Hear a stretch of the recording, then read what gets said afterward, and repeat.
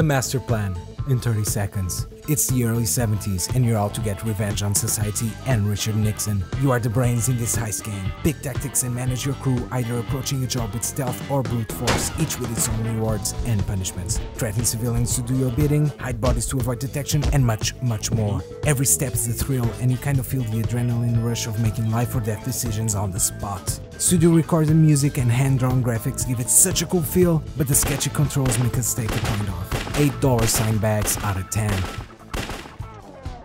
Stick 'em up, this is a robbery. Put all your clicks on the subscribe button or the cute cat video gets it.